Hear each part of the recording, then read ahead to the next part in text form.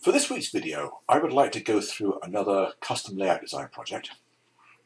This time it is for a customer in Thailand, and it was more than a year ago that I received this commission and was working on this design.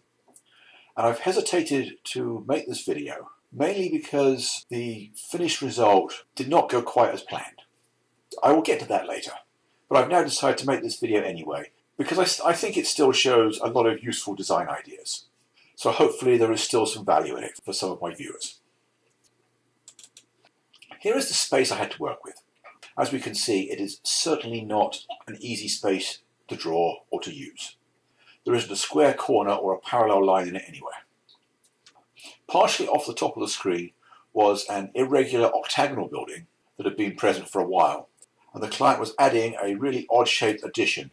I don't recall what the overall dimensions were, but they were given to me in millimetres. But once everything was drawn up accurately and approved as being correct, then I just allowed 3rd PlanIt to convert to feet and inches and work in Imperial as I normally do with layout designs. Actually, since then, I haven't bothered doing the conversions on later commissions. You may have noticed a couple of my previous designs where I've worked in millimeters. I'm pretty much bilingual when it comes to metric or imperial measurements. So I've just tended to use whatever my customer gave it to me in. So area A is the main layout room. There's a stairwell at B. C is his workshop, although he did say I could use part of it for staging. Area D, the client thought would be a good site for a helix, although it's actually nowhere near big enough. So he made some alterations to the building later on. And area E was a small tapered space, which I wasn't sure was going to be usable. And to start with, I wasn't even given any dimensions. There's three high-level windows along one wall, and this is an archway between the two areas of the building. So with the irregularity of the area, it was always going to be an interesting project to see how I could fit the customer's desires into the space available. As always, I started off by figuring out the best way to wrap the main line around the space. Here's one based on what he gave me, We're keeping an operating aisle around the, the walls which usually is not the best way of doing it. But this is what he originally asked for, so I wanted to try it anyway. And as we can see, with the radius that we decided would work best, this area is not quite big enough for a helix.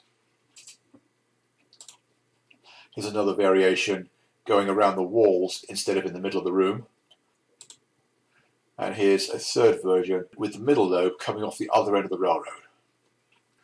Now none of these were coming close to the sort of layout the customer wanted. So we started looking at the possibility of using more of the building. And also the client said that since the builders were still on site, he would move this wall outwards a little bit to make room to put a helix in this area. So here is the site plan for the entire building. We see the roughly octagonal old building, the new addition, and where he's bumped the wall out slightly. It was necessary to keep a support column in this location, but I didn't think this would be a problem. I figured I could work my way around it. At least now we have room in this corner for a turnback curve. And he offered to take part of this wall down. Initially he didn't think that it would be enough to make a difference, but as soon as there's enough room to get one of the end curves outside of the main space, it makes a huge difference. Now you'll notice that I turn the layout on its side in this plan so that it would fit better on the screen. In actual fact, with it this way round, north is almost down. So before I continued, I turn it around another 180 degrees. Now, even with the slightly enlarged space, we still had several false starts. Here is Plan 5, which is the first design where it actually looked like we were starting to get somewhere. And by this point, the customer had revised his want list quite considerably, which is why I didn't go into it at the beginning. But by this time he decided that he wanted a long double track main line with all the usual common carrier features, freight yard, passenger terminal, engine servicing. He wanted a complex junction with, several different routes all coming together in one location. He wanted a sizable steel mill complex and he wanted a significant harbour area. Now you may notice that there is no harbour I'll show you that in a minute. And although the original plan was to put the helix in this corner, we found that by moving it out into the middle of the room at the base of the peninsula, we actually had a lot more running room. And at this point, we thought about the, the idea of a helix viewing window from the stairwell. It just seemed like a natural progression from this plan. The idea was to build it as a triple deck layout with staging on the bottom, most of the operating areas in the middle, and then some mountainous main line on the top deck. Now here's the staging level and you can see that I moved the harbour down to the lower deck because there wasn't really space for on the top and I envisaged it being operated from an office chair with the operator sitting directly under the peninsula of the main deck. And then we've got the two staging yards at both ends of the railroad, room for some crossovers between them. And I showed reverse loops under both helixes. So we've got plenty of room for swapping trains around at both ends of the run between sessions, either looping round and round or reversing them to return back from the way they came. And the idea on the upper deck was to make it a twice round loop, ending up in some staging. And this parallelogram in the middle was intended to be a viewing balcony accessible from the mezzanine level. Here was the later development of the upper deck. The main line wraps one and a half times around the room cutting across on a high bridge with full walk under headroom, staging loops underneath the viewing balcony, and to get back down from the skyline to regular upper deck height, it required another two lap helix underneath the upper staging. And all these tracks that run over the top of the aisleways are over 80 inches high, giving full walk under access to even the tallest operators. And then also on the upper deck, we put in a branch line to an iron ore mine as being a useful addition to the steel mill theme. This part of the railroad representing a mountainous area some distance from the city on the main deck. If we go back to the main deck, we see that we have the steel mill. I assigned part of the peninsula for the coke plant because there just didn't seem to be enough room for it in the steel mill without cramping things. And although this design was fairly well received, there were some problems with it. Firstly, he decided to abandon the viewing balcony. Secondly, he remeasured his addition and found that it wasn't quite as wide as we had drawn it. And although the turnback curves would still just about squeeze in this area, there would be no room for the engine terminal. At first I suggested moving it to the peninsula where it could share space with the coke plant, because I felt there's probably enough space to squeeze in both.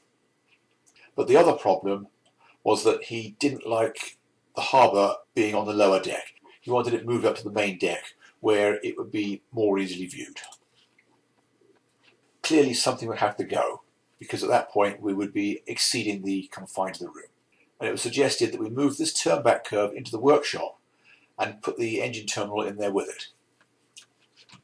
So I drew some designs based on that here is a rough idea sketch showing how this might work. Shows how much of the workshop is needed to do that. This gap here is a little on the narrow side, requiring the aisle to be reduced in width somewhat. And there will be a fairly narrow aisle along this side between the two doors. But since he has another machine shop elsewhere for his larger power tools, this was basically just going to be a, a model building bench. So there's still plenty of room for him. He Decided that this was perfectly satisfactory in the workshop area. Now with this new design, the main line is no longer wrapping around the end of the peninsula, it's just going straight to the helix. And then we'll have a view box down the middle, with one side being the harbour and the other side being the coke plant. And they would both be accessible via separate branch lines. And we've got his junction moved to this point opposite the engine terminal. So there'll be four different routes radiating from it in this one direction. There's the two main lines to the lower and upper decks and the two branch lines to the harbour and coke plant. Just ignore this inset drawing here. That is from a previous version that never got developed. And I haven't done any work on the steel mill. This is still only an idea sketch. Here is the northern half of the layout with the track filled in a lot more detail. I really struggled to get all the crossovers and connections necessary around this curve here while still keeping to alignments that would look good under passenger trains. And here we can see this complex junction taking shape with the four separate routes radiating from it in this direction. And at the other end, we've got the double track main line going through the, the city and the passenger terminal. We've got a relief line serving as a lead track and accessing the engine terminal.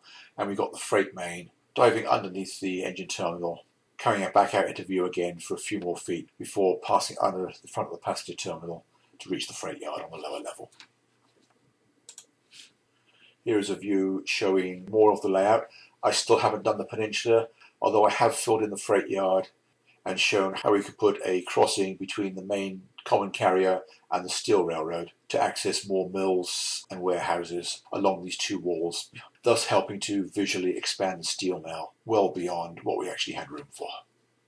And you may also notice that since the main line is no longer wrapping around the peninsula, I shaved it slightly to widen the aisles from 36 inches to 42 inches.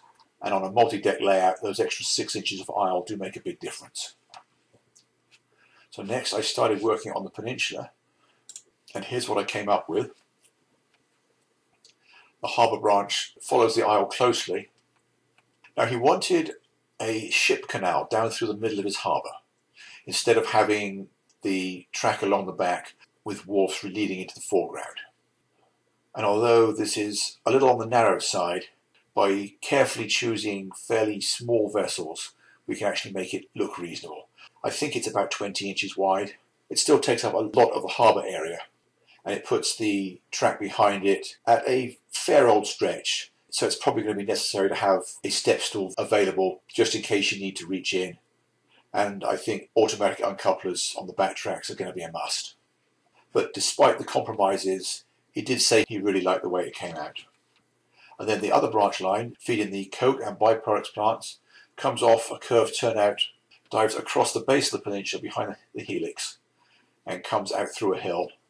This area fairly closely follows a track plan for a prototype plant I found in a book on steel mills, although it is somewhat compressed. These three spurs serving the byproducts plant are very much shorter than the ones on the prototype, but they're still long enough to be worthwhile and there's a small yard in front for coal and coke hoppers. Not nearly enough to be used as a coal storage yard, but enough to switch a train length cut of cars, so therefore providing the necessary operational flexibility. Now notice how the backdrop down the middle is a double-sided row of building flats, basically allowing both scenes to look deeper than they really are. And since the harbour trackage is a few inches below the coke plant, it's possible for these tracks here extending in the buildings to extend all the way under the coke plant, giving extra capacity on each one. And then I redrew this, adding a little bit more detail and one extra track going through a warehouse along the back. Now, since I was still researching steel mills at this point, I left the middle deck unfinished and started working on the other levels. Here is the staging deck because of the direction of the helix, we had to come off counterclockwise. So instead of going straight to staging, we wrap around the peninsula and run all the way around the edge of the layout until we can get to the staging area. And as a bonus, this gives us about a mile of extra visible mainline running on the lower deck.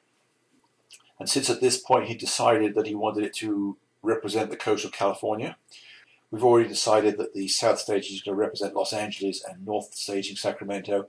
And I finished this long run here as a coastal line. We see the reversing loop under this south helix. And although originally I put one under this helix as well, I decided it was a lot easier just to rejoin it at this point. Otherwise the curves and grades got a lot sharper than they needed to be.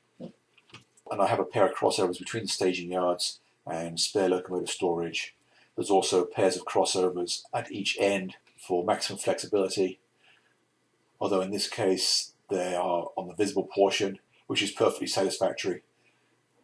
And because of this column, which was right in the way at this point, I split the main lines and had them going through twin rock tunnels instead of one double track tunnel as I've used in a couple of other places along the coast. And although it came about quite by accident, this area ended up being one of my favourite parts of the design. As shown, we've got room for a couple of large bridges. And in common with many customers I've had, this gentleman likes his bridges. So bonus there. So with this completed, I got back to the steel mill and I started working this in. Now the freight yard here is not the main yard for the city, it's just a small subsidiary yard handling local freights and the steel interchange. It has yard leads at both ends, although the one at this end also doubles as the branch line to the steel mill. Most of the switching will be taking place from the other end. And then a short distance away we have another yard owned by the steel company. And in common with many prototype steel mills that I looked at, the steel yard actually has more tracks than the adjacent common carrier yard. And when I started to figure out how those would be used, I came to the conclusion that I needed to squeeze in as many tracks as possible. He's still going to have to think ahead if he's going to be able to get all the operations with this yard at, this size. And although it would be totally impossible to represent a full-size steel mill in the confines of a normal size layout, I've done my best to convince the viewer that there's more to it than meets the eye. For example, rolling mills tend to be huge structures, hundreds of feet wide and sometimes up to a mile long. We've just got the corners of a couple of them heading into the background. Even so, there's still many square feet of roof area. And it uses up all the areas of the benchwork that are basically difficult to reach otherwise. I've put in three Walthers blast furnaces, one standard and two kit bashed with an angled end, uh, as seems to be fairly common, and they're all served by the same blower house, which seems to be the norm. I've taken a few things from regular steel mills, for example the track running through the corner of the blower house, as in Ford's River Rouge mill, I've shown a mirror across the end of this section here before it hits the wall, allowing three blast furnaces to look like six when viewed from certain directions. Now the Walthers blast furnace is very much compressed and later we decided that we could use more of the crew lounge for a separate peninsula with a real monster of a blast furnace built full scale size. And then we have open hearth furnaces which are always an interesting structure with their long row of, of equally spaced chimneys. Basic oxygen furnace, another very interesting structure. And the two together basically dates the layout because as basic oxygen furnaces started to become common, open hearth furnaces were being phased out, right around the period that he wanted to represent with the steam to diesel transition era. Now, another thing we decided to do with the steel mill is to make it partially a shipyard. You can see here on this mini peninsula we have the end of a dry dock. Although I drew it watercolour, that was probably an oversight, with a ship under construction. And both the ship and the main buildings here are cut open, allowing all the interior to be seen. We have a second power plant on this peninsula, mainly as an excuse to get another tall chimney right in the middle where it can be used to help support it. He asked for a few changes on the steel mill area. So let's go into those. He liked the idea of the scrap area being alongside a canal with scrap barges in, the basin. So I added that area. And he wanted this blast furnace turned around so that the high line was on the same side on both of them. I also improved this area, moving the two crossovers further apart to provide a convenient run round. And the twin yard leads at this end were put in mainly for appearance after seeing pictures in books of real steel mills with multiple parallel leads, even though there's only really room for a single operator in this point. So basically only be one switch at a time. Here is the upper deck plan that I drew. Now note that I didn't take the scenic section into the workshop area. That's because there's a much lower ceiling in that area and he wasn't sure if there'd be enough space. And although this deck may seem fairly chaotic, it's fairly simple to follow. We arrive at the top of the helix, which is double track to avoid congestion, goes to single track as soon as we come out of the tunnel. So this just looks like a passing siding disappearing into trees here. And then we have this junction here, which I've called toe junction, TOH standing for top of helix. So remember that point because we'll come back to it. We run around the end of the peninsula. There's a small intermediate town with a passing siding. At this point, we're just about high enough for most operators to be able to walk under without stooping. follow the front of the benchwork, there's the branch line to the ore mine, all the way around until at this point we're well above head height. Uh, we have a second intermediate town with a long passing track extending down the middle of the peninsula. And we have full walk under clearance both in this area through the arch and under the high bridge across the aisle. And then this section from the bridge around to what I've called Sky Junction is the highest point of the main line. And the main route goes into staging just above the roof trusses for the workshop, while a continuous cut-off drops down the back, makes a lap underneath the staging yard, runs down the end of the peninsula and comes out at Toe Junction, losing all the height that it gained on the visible lap. And there's room for another long passing siding in that hidden area. Now, there were a couple of things that the customer didn't like about this. He wanted me to keep the upper deck out of this room because he wanted plenty of clearance over the top of the blast furnaces. And he felt that this would cramp it somewhat and detract from the appearance of the steel mill. And also, this arch here, which as we can see is sandwiched in the middle of the benchwork, he wanted to keep that visible because it's a decorative stone arch that he built himself some time ago and he wanted to keep it on display if at all possible. And also at this point, we decided that there was indeed enough clearance to run the upper main line around the workshop and avoid this low area where taller operators would have to stoop. And as a side advantage, we wouldn't have to have this town quite so high, requiring such a tall operator platform. Here it is with the modifications although I haven't got the scenery drawn in yet. We can see the main line from the first town taking the longer route through the workshop. And once it gets above the ore mine, instead of coming round over the steel mills, it takes a shortcut over the top of the aisle. There is plenty of clearance at this point because we have a longer grade around through the workshop now. So both the bridges have a full 80 inch or better clearance to walk underneath them. And he felt that being able to look through a truss bridge to his arch was perfectly satisfactory. And then here is the Sky staging yard wrapped around the outside of his workshop, just five tracks wide, but each track plenty long enough for two trains. And I don't remember what the elevation was on this staging yard, but it worked out quite well, fitting just under his trusses while still being above the windows, and therefore not being in the way. Also on this plan, I showed a possibility of how this branch line could be extended into a minimal staging yard along this wall just above the rolling mills and that would serve to increase the operational flexibility of the branch line. It can now run mixed freight and local passenger trains in addition to the block ore trains. This is as far as I got on this layout design because at this stage things started to go south in a hurry. He'd been talking about extending this wall to allow for a wider aisle at this point which is why I'm showing the tracks just cutting through the wall because when I drew this I knew I would have more space here but I didn't know how much. Anyway, when he gave me the dimensions for this alcove I tried incorporating them into the plan and the numbers just didn't seem to be working. So he gave me a whole load more dimensions to specify plotting it at numerous points. And I superimposed it on this wall and discovered that this dimension along here, where the passenger terminal is on the main deck, was not right.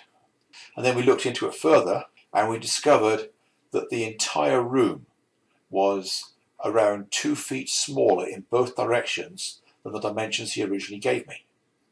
Now how this happened I don't know. Now since the building was still under construction while I was working on the designs, maybe somebody measured the foundations before the walls were built. I don't know that's only a guess. It's all I can think of. That would certainly be an error of about the size that we ended up with.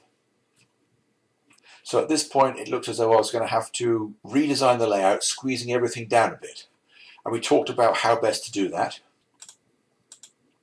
We were thinking that reducing the number of tracks in the freight and passenger areas, shaving a few inches off the curve radius, shaving a few inches off the aisles, we might still be able to get basically the same layout in the smaller space. But before he was even able to get me the revised dimensions, another bombshell hit us, and we lost the use of the workshop altogether. the customer's mother-in-law was going to be staying with them long term and the workshop was being converted into a bedroom for her. Now we didn't know how long this arrangement was going to last and at first I suggested start with the staging areas, build the steel mill, the freight yard, the passenger terminal and put a temporary turnback curve in at this point, figuring that that would take him years to build and more than likely he would be able to have his workshop back by this stage. But he didn't want to take a chance on that. So we decided to see what we could do in the smaller room. But that was still many months ago. And last time I'd heard from this client, he seemed to be too involved in other things and losing interest in what would have been a lifetime project. Now I don't know whether I'm ever going to hear from him again. Maybe I'll get the opportunity to design a more modest layout for him. But for the time being, that is the end of this design process. So as I said at the beginning, although it didn't work out quite the way it was planned, I think there is still enough to be learned from this layout design to be worth making this video. So that's why I've done it. I hope you've enjoyed the presentation and that you found it interesting or useful, or ideally both. Don't forget to hit the like and subscribe buttons, and I will see you again next week. Thanks for watching, and bye for now.